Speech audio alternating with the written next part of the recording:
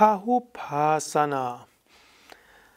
Ausgangsposition ist der Lotussitz. Gib einen Fuß auf einen Oberschenkel, den anderen Fuß auf den anderen Oberschenkel.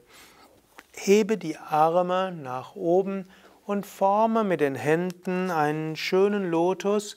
Schaue dann zwischen den Daumen durch nach oben zum Himmel.